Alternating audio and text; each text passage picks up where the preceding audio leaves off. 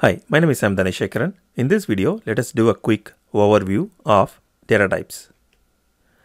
Remember, I mentioned that we define and design the structure first. Well, we not only decide on the number of columns in a table, but also the type of data held by each column. For example, we would like the ID column to contain numerical values. So we would define it as number data type. What this means is if somebody enters a wrong type of value, for example, ABC under this column, it won't accept. This is one of the ways to have a clean data.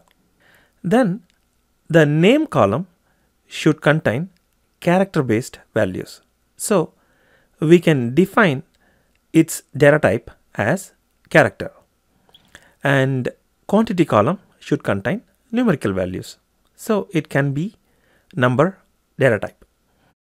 Then sell by date should contain date based values. So it can be a date data type. And finally, price column needs to have numerical values. So it can be a number data type.